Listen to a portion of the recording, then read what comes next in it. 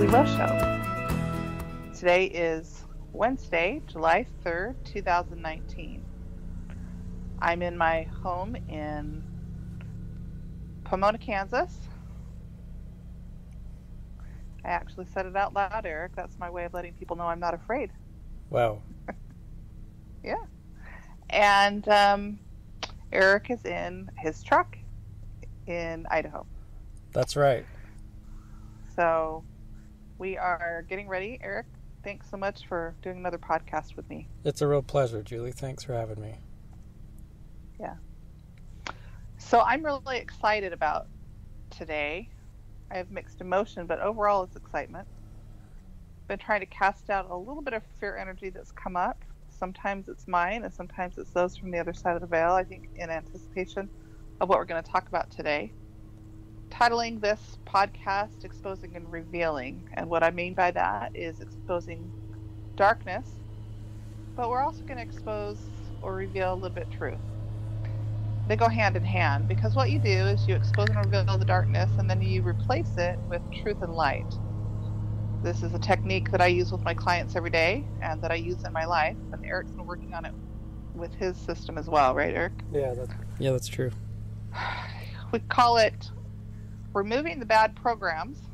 this is one technique, and replacing with healthy programs or healthy ideas and bringing light in. So I'm going to use a few terms because, as I mentioned to you guys before, these podcasts can serve as um, like an energy session. So I'm going to use some specific terms that I use sometimes with my clients to just kind of bring more of this to light. And hopefully, it'll teach some of you guys some techniques that you can use as well. Expose and reveal all darkness on every level, layer, realm, and dimension. We expose any and all hidden energies, including those that are cloaked, otherwise hiding, including those that are using mechanisms, devices, machines, programs, or any other unseen, unfelt, unheard, or undetected energies, including frequencies that have or will be used against us in response to this session. We ask for invisibility, invisibility shields for Eric and I, and for those on the light side on both sides of the veil as we attend this session and do this podcast. Remove any and all dark portals, close, cap, and dissolve those dark portals in our energy systems and energy bodies. Heal our energy bodies. Remove shunts, mechanisms, devices.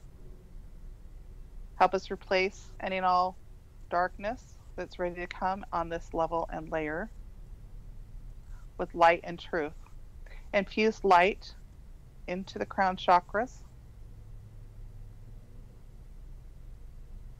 using the flaming sword of Christ, the white light, blue light, and violet light, we ask for the sacred geometry, numbers, letters, symbols, music,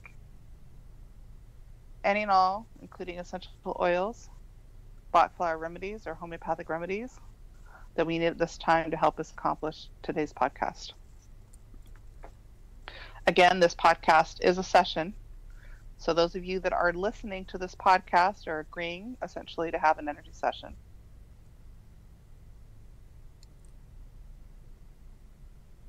Some of you will have already been feeling the energy shift around you. I want you to pay attention to what's going on in your mind, heart, body, and soul. See if you can detect the energy that's within you and surrounding you. Today's purpose is to expose real darkness, like I said, and some specific things that I've seen in vision for years, and specifically in the last five years, related to uh, what I see with everything from breakoffs within the Church of Jesus Christ of Latter day Saints that we've had from apostates. Uh, and those factions or groups that are still in hiding or working under the guise of the Church of Jesus Christ of Latter day Saints, but are pretending to be someone that they're not. I'm calling out any and all wolves in sheep clothing. Fraction groups throughout anywhere from Nampa, Idaho, greater Rexburg area, the Salt Lake Valley, Utah Valley, Sanpete County, Colorado, Arizona, including Snowflake, Boise, Idaho. I'm specifically naming these places because you guys know who you are, and I want you to know that I see you. I've had many of these groups try to contact me in the last five years to get information out of me to use and abuse or to otherwise rope me in. Many of these factions or groups or trolls that are on the internet have tried to spread spread lies about me, which have led in part to my excommunication. I stand as a witness and testify of you, uh, testify to you, that I'm innocent in the accusations that have been made, falsely against me at church headquarters and thereby by my stake president. I stand by that. I am not apostate. In fact, I'm here to call out the apostates. And in part, my excommunication actually has provided a form of protection for me so that I can do this without fear of repercussion anymore from church headquarters and those that are within the ranks of the church, both male and female, who have been conspiring, some of them conspiring against the prophet of the Church of Jesus Christ of Latter day Saints, and others within the Quorum of the Twelve. This will come to fruition in the next several years, as you guys will see that the truth I speak will unfold. We've got groups everywhere from wealthy businessmen in Utah that are connected to the church headquarters that are doing projects with them, PR firms, marketing firms, and others who contract out with the church. We have members, members and non-members who work on our temples, who are uh, not doing good things in our temples. Everything from the construction level on up to participating in satanic ritual abuses in some of our temples. I expose and reveal this at this time, and essentially could say I'm calling you out. You think you're getting away with it, and there's at least one person who is mortal on this planet who sees what you're doing. I stand by the truth that I know, which is that I have a mission to be a warning voice on several levels, layers, realms, and dimensions, both on this planet and throughout the universe. And I testify to you that I work on behalf of the Savior Jesus Christ, even our Redeemer. I work on behalf of Father, who has commissioned me to come to the earth this time to condescend and to help fulfill his purposes. I hope you hear me say that I have no fear of the adversary because I put my complete trust in Father in heaven and in our Savior Jesus Christ, who again I testify is our Redeemer. They have a beautiful plan they're orchestrating. My mission is just one piece of the puzzle but it's significant enough that it will awaken some of you who have been doubting some things about me, and you will come to understand at some point in time when you are supposed to awaken that we have some things coming, some of which I've warned about, and some of yet I have not yet disclosed. There are both members of the Church of Jesus Christ of Latter day Saints as well as non members of the Church of Jesus Christ of Latter day Saints who have been, are, and will have continuing revelation, both of sight, hearing, and feeling, various forms of dreams and visions, as well as visitations from the other side of the veil.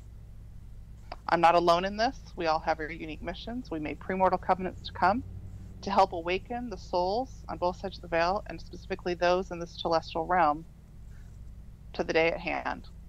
We are in the last world of this eternal round prior to the Lord's second coming. I witness and testify to you that He is and will come, that He is the Savior of this world and many other worlds in multiple locations and multiple places in the universe. He is our King of Kings. He does and will rule and reign, and He will take His rightful place on this planet no matter what Satan tries to do, no matter what those who work with him, including Cain, or any of the other Council of 12 on this side of the veil, or the Council of 12 on the other, or the Council of 18 or 24, or 72 or 144.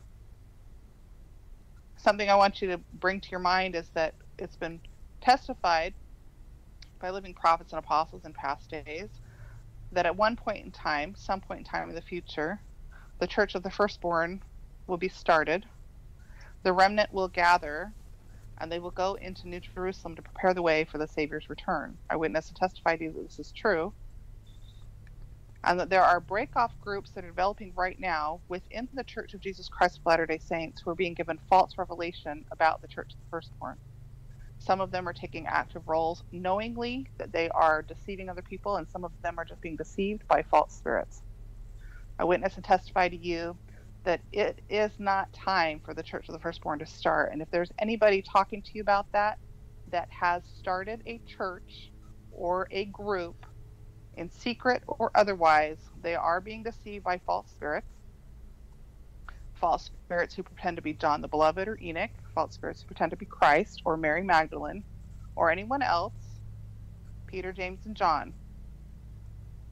If they're coming to you saying that they can bless you with translation, that they have ordinances for translation, or second anointings, or second comforters, and they are not directly tied to President Nelson or working in the temples of the Church of Jesus Christ of Latter day Saints related to a Second Comforter, which is, or excuse me, Second Anointing, which is different than Second Comforter. Second Comforter is when you actually see the Savior. Second Anointing is an ordinance that on occasion can be administered in the in the temple, but it's very rare. There are a handful of cases. There are groups that have come to my attention that have contacted me in the last five years that have tried to get me involved uh, with blessings, claiming that John or other people have come to them. Peter, John, they they're being told that they they are the reincarnate versions of these individuals. Multiple probations is a true doctrine. At some point in time, Eric and I will be talking more about multiple probations. I witness and testify to you that both Peter, James, and John, all three of them, are not on this planet. John is a translated being. He does administer, he works on this planet, but he is not a mortal. Peter and James are not mortals, they are on the other side of the veil. They have been mortal before, they are not mortal now. If you come across someone who claims they are Peter or James or Hyrum, there's also another individual that was brought to my attention about five years ago who claims he is Hyrum reincarnate. He is a false spirit. He is a false prophet. I know who Hyrum Smith is, and it is not that individual. Same with Noah, Gabriel, Michael, or any of the other archangels that are disclosing themselves to groups of people or individuals claiming that they have special knowledge or understanding to be passed down. One of the adversary's biggest tools is that he comes to people, uh, works on their ego and pride, makes them feel like they're important with quote unquote some kind of special mission. And you guys are going to say, well, that's hypocritical because of what I say about my mission. I stand by my mission, you guys. And yet there are false spirits talking. They, they try to talk to me too one of the reasons that I know I speak truth is because the false spirits were some of the first ones that started waking me up to my mission, and I would ask the Lord, and then He would send a true messenger. There are different ways to discern true messengers from false messengers. Everything from voice intonation to facial expressions. Now, there are some people that watch the radio show with Steve Mitten with Eric and I, and it's gotten back to me that uh, some people on internet said I looked dark. There are reasons for that. I was in the presence of dark spirits who clouded the camera. There was bad lighting there. I want you to look in my eyes when you watch that video. I want you to feel the energy.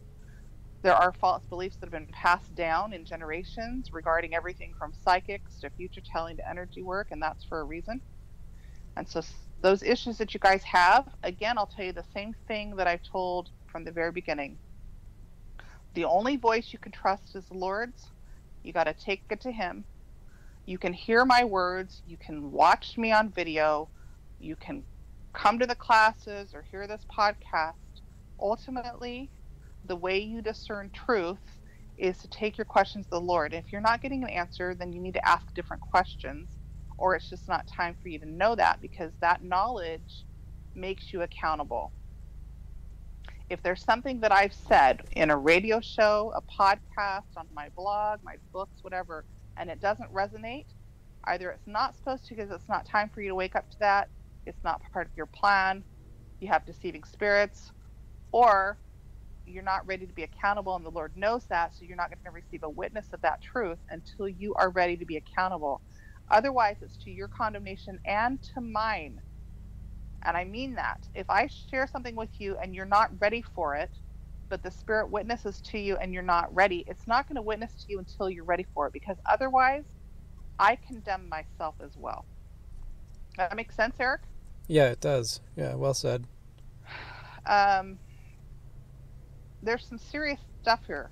Obviously, we know there's some some very clear apostates like Denver Snuffer and John Dehlin and some of those those others that have gone the unattack. I'll tell you this much: I've had more more people from Denver Snuffer try to contact me clear back five years ago as soon as they went public. I am not in any way associated with him or John Dehlin Oh, okay. or Kate Kelly, any of the ones that are known apostates that have fought against the church.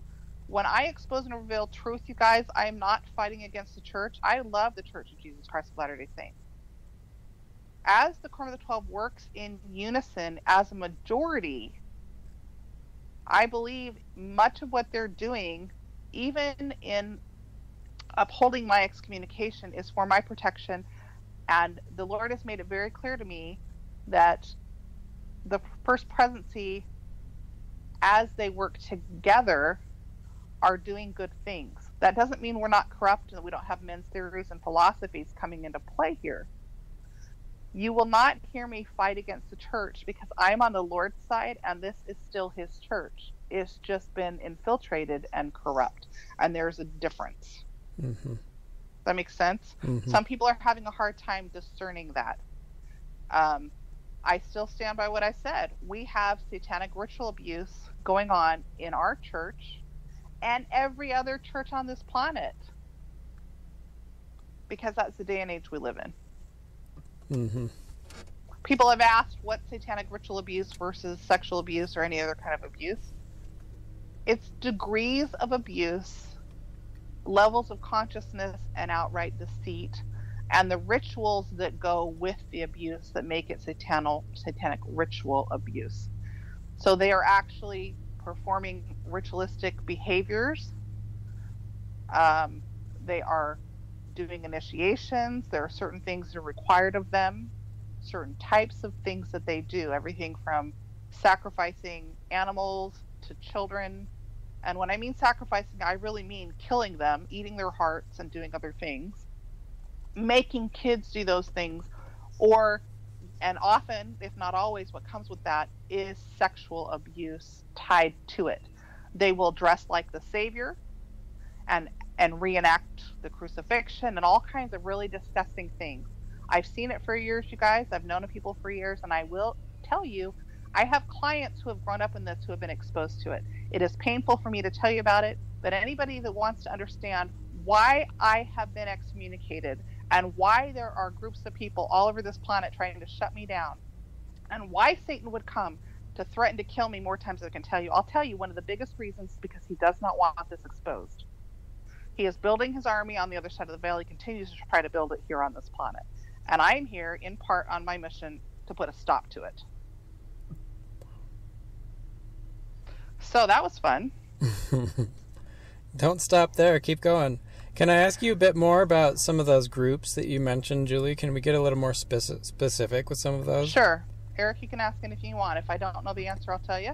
If I don't have permission to say it because I don't want to disclose too much for my own safety, um, I also don't want a lawsuit from the church or from any other wealthy businessman who's participating in this, and they know who they know who they are. Mm-hmm. I will also expose Underground Railroad, the individual who started Underground Railroad, not Dark.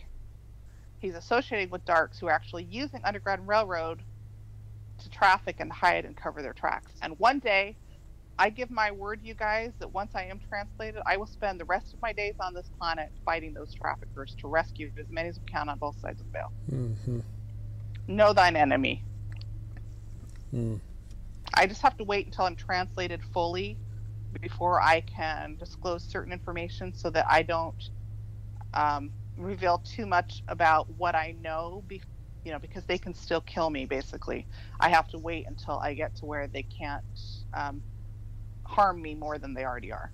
Mm-hmm. So, Okay. Any other organizations or, you know, be well, you know, there's crime families all over, multiple crime families, everything from Italian mafia, Russian mafia, Chinese mafia, Korean mafias. We've got those well-known crime families. What, what's scary to me, Eric, more than those families who are out and out in your face crime families that have been there generations since Cain, is the ones that are cloaked and hidden that came to this planet pretending to be on Christ's side. So he knew all along he could tell who was on his side or not. They came, got bodies, and they have been working for the adversary since they got here, and and some of them in previous probations, and some of them in previous creations. You take the Hillary Clintons, she's a multi-creation dark. She's been dark for four worlds. Right? She made certain contracts with the adversary to get a body to come here. This gets into very deep doctrine and very deep um, plans by the adversary. But I want you guys to think about war if you were in war as a Luciferian, what would you do to put people on the earth?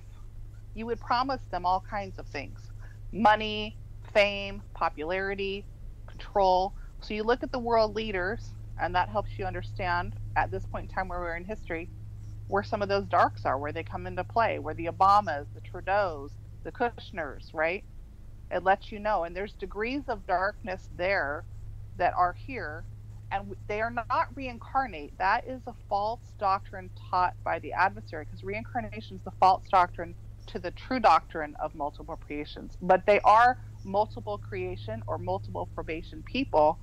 That's why they have the intelligence they do. That's why they know how to manipulate and lie. That's why they have been well schooled by the adversary for thousands of years. Mm-hmm. I know what you're saying so. is true, Julie. And I know that's going to be uncomfortable for some people to hear, but be patient. If you don't understand that, just stick it on a shelf for a little while. There's going to be more to come on that. Right. There's all kinds of stuff out there on conspiracy theories. They're the ones that are planting it. They're the ones putting more and more in our face. The Middle Earth theories and all kinds of stuff. Some people are like, no, no, no, it's not real. I'm here to tell you that's a real theory. There's Middle Earth. I'm also here to tell you that aliens are real and shapeshifters are real and translated beings are real, and there's stuff that you can look into. You want to look into some interesting stuff, look up Laura Eisenhower. She is a light person. She has a lot of darks that come on her show, but she is absolutely brilliant. She's getting her information from somewhere. She doesn't have the fullness of the gospel and the truth. She is Eisenhower's granddaughter, and she has really put herself out there. Now that's some stuff. You know, when I when I told my husband about Laura Eisenhower, I sent him a video and uh, he said, "Don't tell anybody that people already think you're weird enough." so, yeah, draconians and aliens and you know the Aryans. I mean, it's it's all tied in to World War One, World War Two, um, Social Security, the banking system, the global elites, and we have global elites working in conjunction with some of our elites in the Church of Jesus Christ of Latter-day Saints. They're in every organization, you guys. Mm-hmm. At this point in time on the history of this earth, we are not going to get away from having darks in any organization. They're they're all over. You're going to feel surrounded, and you'll start looking around and keep try to keep from being paranoid and wondering how many darks are surrounding you if you're light. yeah, that's really true. And you know, it shouldn't be that big of a surprise, should it, Julie? I mean, it's a scriptural pattern. Anybody who reads the Book of Mormon knows how the Nephites yeah. and the church then was um, infiltrated by Gadianton robbers, and so those patterns. I just don't understand why we think we're exempt from that today. You know. Well, how many times have we heard the Book of Mormon was written for our day and its types and shadows? Do people think they can pick and choose what type of shadow is going to apply to what we're doing right now? Right. Right. right. Exactly. I mean, I'll put it this way: if you have a Laman and Lemuel in your family, and and you know Lehi was prophesying and having dreams and visions as was Nephi and Sam was light. If I just said to you, Laman and Lemuel were, were you know, infiltrating Nephi's family, but it was for the Lord's purposes and for our future teaching, all of a sudden people are going to start putting together and they'll be like, no wonder so and so's always hated me. Mm-hmm. Mm-hmm. Because the darks can tell who the lights are on a subconscious level, even if they don't consciously know and then the entities and unclean spirits that possess or attach to those dark spirits that have made contracts or whatever else also know who the light spirits are that surround you. Right. I can be in the grocery store, walk by and smile at someone and see a guy that's possessed, and he will give me a dirty look. It's happened to me more times than I can mm-hmm, tell you. Mm-hmm.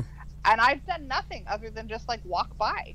but like the demons that are inside of him recognize me and recognize the light, and they will like look at me like they want to kill me. Yeah. It's the it's weird. You guys start paying attention to that. It's weird. It's you know, ever drive by and all of a sudden out of nowhere somebody flips you off and you're like, What was that about? What did I do? Maybe it's never happened to you guys, but it's happened to me a bunch. And I'm like, I, I didn't even do anything. or that whole feeling of like, sorry, I, I'm breathing the air. Stole the air you should have been breathing, you know? yeah. like yeah. look at the trolls when you guys are on facebook or other social media when you're on these online sites and you see people who are hating on me but you know that i'm speaking truth ask yourself why are so many people trying to hate on julie rowe what do they know that i don't know about julie rowe or this mission of the gathering that's not my ego you guys that's me testifying to you of truth because i know who i was I know who I am. I know who I will be. Therefore, it's clear to me why some random guy on the internet would spew hate hate stuff about me when he's never met me, right? Mm-hmm.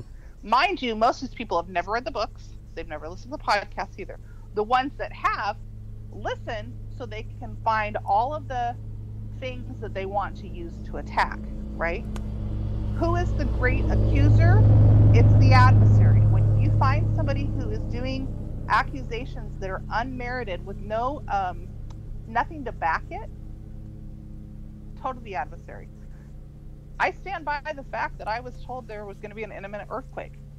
I have never, ever explained why I thought that, why I still think it could happen, but now I think it might not. That would be a fun podcast. We could do. Maybe we'll talk more about that later. But um, I have been told very clearly lately that the Saints have been warned. They had five years of warnings. Hmm. And I'm not so sure that they're going to get another warning with Wasatch earthquake now. I think some things have shifted, Eric. Maybe we'll just talk about it right now. I think some things have shifted. We Mhm. may or may not have an earthquake. When I asked the Lord earlier today, "Are we are we having a Wasatch earthquake?" He said, "Uh." And I also know that sometimes they don't tell us stuff because this is war, spiritual war on the other side of the veil, and they don't want me to know because maybe they know I'm going to tell somebody, and it's like we shouldn't we shouldn't know what's going on over here because things are heating up so much. Mhm. But it wouldn't surprise me one bit if we had a call out in the spring. No earthquake warning at all. I'm not saying we will. I'm saying it wouldn't surprise me. We could have a call out in the spring of 2020. Yeah, I like the idea of there being a dynamic plan, a plan that can change based on agency. It is totally based on agency. My agency, your agency. The Yeah. and the very groups that you've been talking about, those dark groups and the things that they're doing too, I suppose could affect it Yes. in some ways. Yeah, they're very strategic in what they do, and so is the Lord. Yeah. Yeah. And Elohim, I've come to see is part of involved in um, Yes. countering, I guess, the the dark plans of mortals and and um, yeah, yeah. So what's interesting is one of the things Laura Eisenhower and some other people on the internet talk about, and I haven't really done any research. I've only heard a couple of her videos, but um, they talk about the Elohim Wars. You guys, those are real. I remember them. The Elohim real. The Elohim Wars are still going on. When they talk about the Elohim Wars, what they're talking about is past stuff when Lucifer was cast down, right along with Draconians and others. But that's real, and it's still continuing. Those wars are still continuing. I don't know. We live very exciting times, right? Right. The good news is at some point in time, we're going to ascend to a higher level and, and layer and vibration. This earth is going to go from being very dark on a low telestial level to terrestrial. We're just going to go through some growing pains. Right. I wish I could snap my fingers and make it happen today. wave, wave a magic wand. yeah, no kidding. Um, Ju- well, Julie, any other groups or any other dark uh, efforts and agendas out there that you want to expose? Well, there's there's groups that are secretly living um, ollie just flat out polygamy or or polyandry that are claiming truth. They're claiming that they are beginning the church the firstborn. They quote scripture related to um, in the scriptures where it talks about in the last days and tribulations that seven women will cling to one man. There's lots of reasons why seven women are going to cling to one man. It's not necessarily because those men are righteous Right. Well, or that they're supposed to be living that law. and if Some you of them are doing it because they're offering their bodies because it's the only way they get food. Right, but but in the context, I just have to point out that's Isaiah chapter six, and if you look at the context of that, it's pure, it's really clearly about the tribulations, and it, Yes. and he's the prophet that talks about how many people are going to be wiped off the earth, and more than anyone else. Six six references in Isaiah are Yeah. made to the great numbers of people that are going to be destroyed in the last days. So Yeah. So what I find interesting is we have about 60, 66% darks on the planet right now. From what, what the Lord's telling me, about 66% dark is our ratio, give or take, I don't know, several million. Uh, for every light that comes or dies, a darker light comes. So, like, if we're at that point, they'll let you know the level of darkness. And don't you find that interesting that at least two thirds of the planet is going to go to the other side of the veil? Now, those aren't lights or darks, all of them, right? Just because somebody dies doesn't mean that, that a dark is taken off the planet. It just means that we're going to have a huge shift on what goes on on this planet. And I look at um, death as, depending on who you are and what side you work with, a, a, a gift it means you graduated from your mortal probation. If you work for the life side, you've graduated, you get to go on to the next level of eternal progression. And even if you're on the dark side, you still get a chance to come back and try and do it again, or improve, or break contracts, or whatever. So I don't look at death the same way I used to. I used to get depressed at seeing what was going to happen on the planet to loved ones that I know.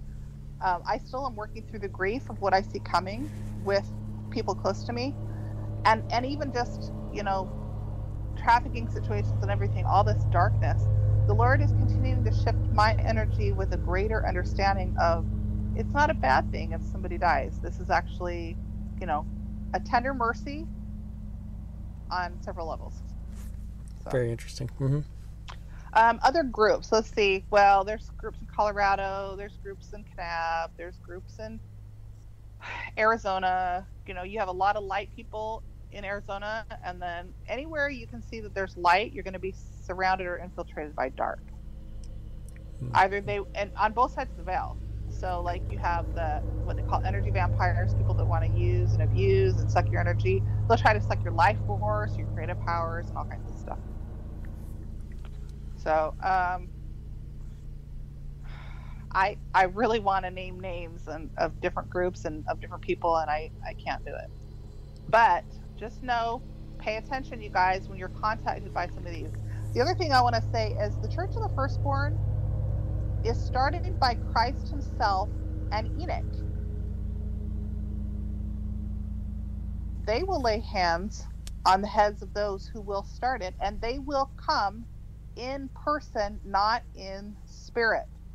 So if you have a spirit that's coming to you or somebody else that you know, claiming that they've started the Church Firstborn because Christ came and gave them a blessing and told them they are going to start Church Firstborn or that they've become a part of it, that's a false message. hmm of Firstborn has not officially started with those individuals, and they're being deceived. And next thing you know, all of a sudden they have special priesthood powers, priesthood keys they're getting, and all kinds of stuff. That's just not the case. That's not the case. And if you have some random guy in your ward coming to you saying, you know, Joseph Smith came and and I say this because these are real examples of people, clients that I've worked with that have asked me these questions because people they know that have approached them, or these people have approached me personally, claiming certain gifts have been given or whatever. Now, there are exceptions. I do know of a few cases where Peter, James, and John, or somebody else from the other side of the veil, um, came and gave information, but that is different than saying, you know, I give you the keys of priesthood authority so that you can go start the Church of the Firstborn.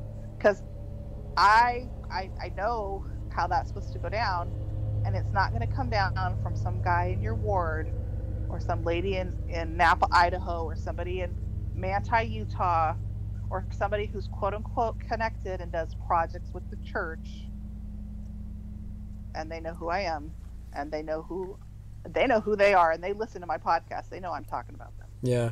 You know, Julie, what it's I doing. want to make it very clear on both sides of the veil that I'm not associated with them, and I will never be associated with them. Yeah, yeah. what this discussion's doing for me is because uh, I haven't been fully aware of these groups and haven't really heard much about them, to be honest. But mm-hmm. I I do understand now that I've had a little time to look into things that they are real, they exist, they're they really, and a lot of their claims are similar.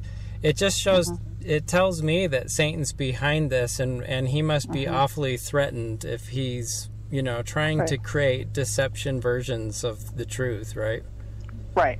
So like, so they're doing it with non-members too. When we were in Arizona, my husband worked with this guy who had these amazing spiritual gifts. The first time I met him, I recognized him. I knew right away it was dark, and he recognized me, and we would have these silent mind conversations back and forth. Went to dinner with he and his wife a couple of times. Went to their house one time, and oh my gosh, you know what came out in that year and a half? Because he was he was buddying up to my husband. Now, I can thank this guy for being friends with my husband at work. He was actually one of my husband's closer friends because my husband woke up to the fact that his wife wasn't just crazy because he met this guy who was over the the, the brokerage stuff and, and analyzed stocks all day long. He was super logical and male and could see spirits like Jeff's wife could and could hear spirits and had visitations and all kinds of stuff. And he's the one that convinced my husband I wasn't crazy because you know, I'm not just this emotional woman with a vivid imagination. Because he meets this guy who doesn't fit anything like me, and he's saying the same stuff. And you know what he tells my husband and me? What? Gabriel visits him regularly. We were at dinner one time, and he says, There's a man in purple standing behind you. And I said, I know he is. And I had a conversation with this guy. You know who Man in Purple was? A guy that has harassed me, who's Satan's right hand man, that's been following me around my entire probation. He came to the restaurant because he works. This guy that my husband worked with, he worked with him. They were on the dark side together.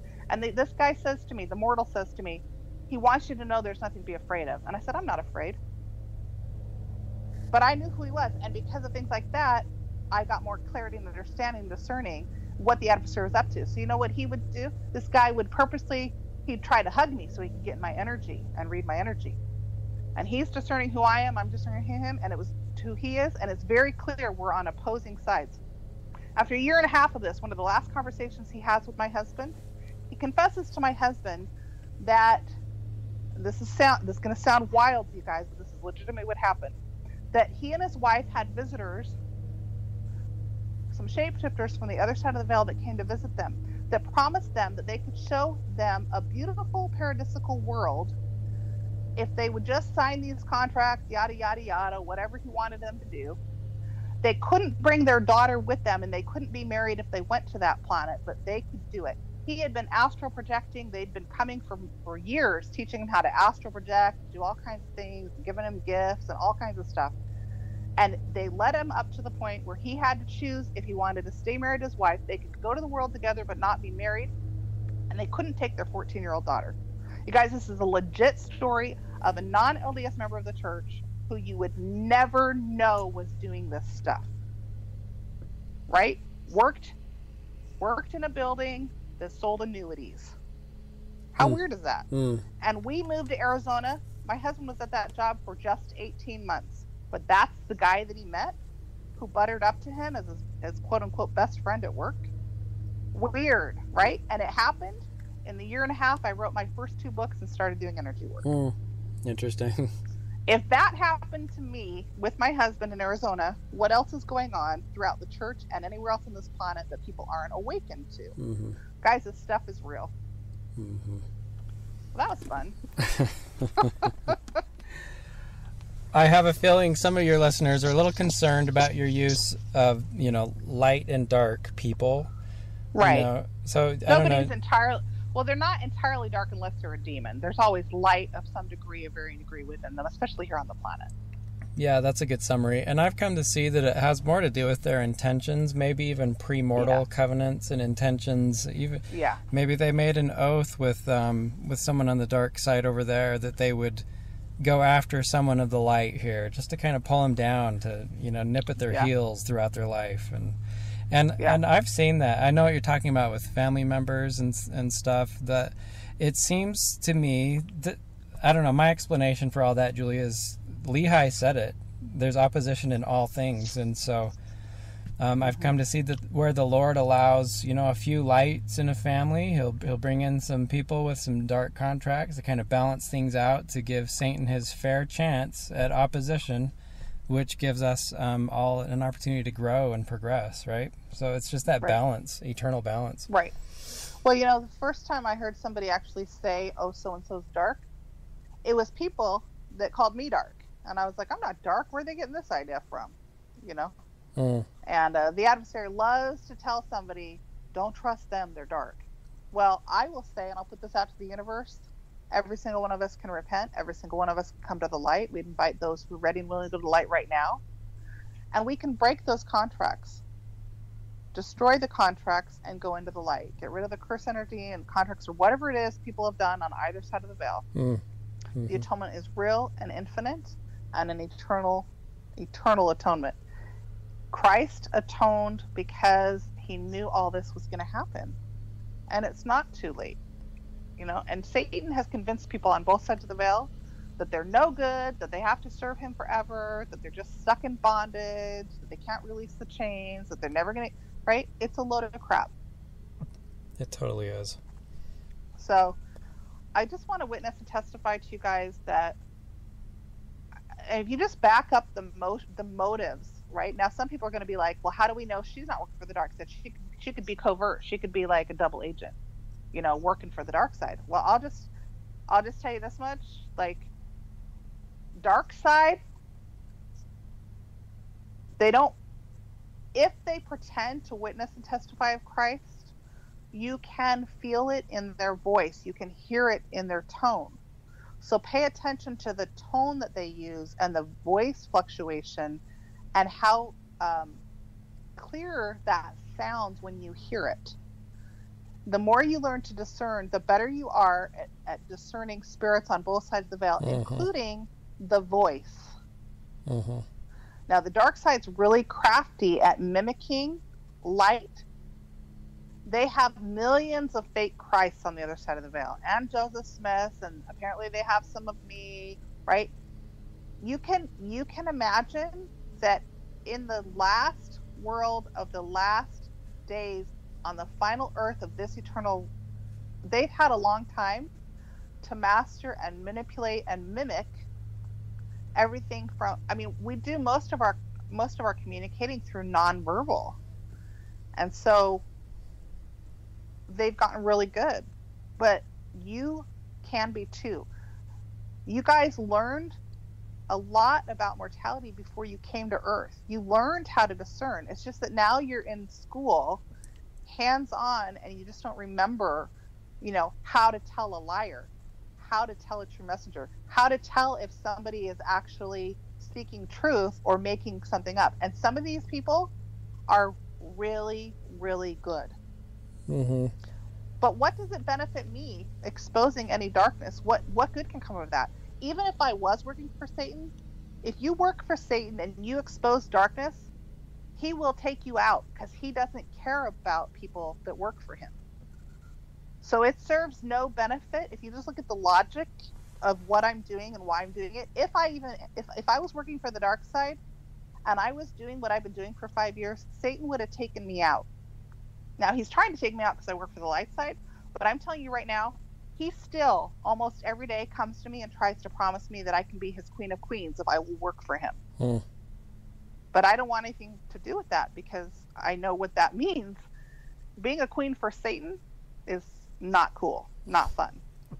No. It's bondage and slavery and being used and abused. And he does give them power, but it comes at such a high cost. Like anybody who's involved in that right now is in sound of my voice. I promise you, if you will go to the light, you can be released from that bondage. You just have to trust in the Savior. Mm, yeah. Wow, I got some good energy out there. That felt good. It's good. Well, I hope it's helpful to people. I, I don't know. One other form of darkness and exposing it, Julie, I, from my perspective, is the personal darkness Satan can put in our hearts and in our minds, especially in our thoughts. It's something that's been frequent in my life in the last few years. Is um, his constant snipping and nipping at my thoughts and my my ego, my self-esteem, and my value, and my to the plan and to the Lord and it's just yeah. you know it's a real pervasive sort of um, I guess war strategy on Satan's part, and so I know that's right. another thing that we can end. Right. Well, I've had a lot of people, a lot of clients lately say, "Oh, you know your mission. I just wish I knew my mission." Da da da, and they're getting beat up by the adversary, thinking they don't know their mission. Mm-hmm. You guys, you're living your mission right now. Whatever it is you're doing, you're living it and that doesn't mean there's not more to it. I don't know my full mission either. I just know what I'm doing now, and I've been shown some more of what I need to do or will do. But there's lots of missing pieces to the puzzle there for me still. Mm. So I don't want people. I have a lot of people that assume that they think that if you're visionary, it's all laid out for you. You don't take it doesn't take any faith, or if you have hearing gifts, it's easy. It doesn't get easier, guys. It gets harder. The more you know, the more you understand, the more you see, the more you hear, the more you feel it gets harder, not easier. Mm-hmm. So don't deceive yourself in thinking that it's cakewalk once you know what your mission is or you think you know what your mission is. It gets harder. Trust in the Lord's plan. Trust where you are right now and trust that you're on track for where you need to be. And if you're off track, listen to that inner voice and to the spirit that says, hey, you need to correct this. You need to repent in this area so you can get back on track. Mm, yeah, that's absolutely really, true. Right? If people are repenting every day, then they'll be on track with wherever they need to be at whatever pace they're going to be. They don't need to beat themselves up, and they don't need to they don't need to freak out that their kids are rebelling or their spouse is is having a hard time. Right? You just trust in the plan, trust in the process, and trust trust the Lord. Yeah, that's really well said, and and that repentance thing is key, Julie. I've learned. I mean, if if you are constantly clearing and repenting, then what it's really doing is is minimizing your um, potential to be deceived by the adversary, right? It's it's right. like it helps you stay in tune more with the light, those of the light who are prompting us on the other side. So yeah, yeah. that's big. And with that, you know, I've got people that have called me to repentance online and through email and whatever, and I just want you to hear me say, I know who I am. I know at least a portion of my mission and where I am. I repent every day, multiple times a day throughout the day. I know my standing before the Lord. I have no shame in this. I have calm in my heart. And no matter what anybody says to judge me falsely or whatever else, or falsely accused, I know who I am. I know I know that I'm in good standing with the Lord. And I'm not deceived in that because I know how to check myself and I do it all day long. And if people had any idea how often I repent, I think they would be like, um, okay, she's fine. Right. Because I don't wait I don't wait to repent. I do it throughout the day, all day long. Yeah. Well, and one thing that I've observed in the judgment coming from many many of your critics is superficial petty judgments. It's the tone of your voice, it's the clothes, it's the things you say. You know, it's yeah. They're, it's just all superficial judgment, and and it's like we forget some of the most basic things the Savior said. Sometimes He doesn't look on the outward appearance; He looks at the heart, right. and only He knows that about you, or me, you or know, any of us. I look at it like the same kind of people that are criticizing Joseph Smith, and some of those doing the same things to Joseph Smith, even still, right? How long ago did he live? And he and he still gets falsely judged. Mm-hmm. We got people that are breaking off from the church because of Joseph Smith he's amazing. He's one of the, the greatest generals on the other side of the veil leading these armies. I just want to tell him thank you for his work and his assistance and everything he does and everything he continues to help me with because he is helping me on my mission. And I will tell you this much. If if Joseph Smith as the prophet of this restoration can be as human as he was and is when he served his mission, then I think people should cut me some slack because I'm not Joseph Smith. And look what he did right? But even still, people expected him to be perfect. Mm-hmm. That's a false belief, you guys. Mm-hmm. As mortals, we will never be perfect. I'm not perfect. I don't. I don't propose to be perfect, but I am doing the best I can with the missions that's been given me as I've come to understand it, and I understand more today than I did yesterday. Mm-hmm. So that's where I just give it all to the Lord and I say, I'm sorry, I'm not perfect. I'm an imperfect servant. And you know what He says to me? Mm-hmm. What I care about is that you have a broken heart and contrite spirit and that you're humble, Julie. Mm-hmm. And then I'll have those people that are like, well, she's not humble. And I said, well, go ahead and judge me. I care what the Lord says about me. And that's what you guys should care about too. What's your standing with the Lord? Where are you? Where's your heart? He looks on the heart. And I can't emphasize that enough. He looks on the heart. And where you have impure energy, that's where you know you need to clear the heart out. If you're judging me or anybody else, and you're being jealous or petty or whatever, that's on you. That's not on me. And I hope that you will go to the Lord and you will get your own answers and do what I've said all along, which is focus on where you are and what you need to do and make sure you're not one of those percentages that's going to get talked into for these apostate groups or anything else. Make sure you're on the Lord's side, not the adversary side, whether you're on this side of the veil or the other side of the veil. Thanks, Julie. All right. That's where we find hope. That's where we find peace. That's where we find satisfaction. And ultimately, where we find salvation and hopefully exaltation. And um, and it doesn't matter what I say. It's on them at the end of the day, right? Yeah. So, all right, that was an earful, or in my case, a mouthful. yeah, Julie, I'm grateful you're willing to put yourself out there and expose uh, the wickedness that's out there, and and also the, some of the truths that are out there. So thanks. Yeah. Thank you. Well, you know, Eric, you and I both we get punished for this. The adversary doesn't waste much time before we pay for it. And um, but I know that pattern too, and what that lets me know is that we did something good today, Mhm. and so I anticipate that, you know, things are going to get exciting again in the next couple hours. But with that, I just want to put my promise out there to each of you that we'll continue to do these podcasts. In fact, the good news is, that in celebration of Independence Day tomorrow, by the time this podcast goes out, you guys will, some of you have already heard about it, but in celebration of the 4th of July, Independence Day, I'd like to thank all of the troops, light warriors on both sides of the veil. And in celebration of that, in rallying the troops, in rallying the troops, we have re-released all the podcasts with the exception of podcast 1 through 20 and 49A. So those are all on YouTube now. We will not be putting any podcasts on Podomatic because, quite frankly, I was paying to put stuff in Podomatic to have the bandwidth because we had such a following, and there's really no need for it. People can go to YouTube if they want, look up podcasts there. So spread the word. All the podcasts are back up. This one will be released in a couple of days. Today's July 3rd. We hope to have it out by maybe the 5th or the 6th. And that's in celebration of all the light warriors on both sides of the veil. Thank you guys so much for the work that you do. Sending my love wherever you are.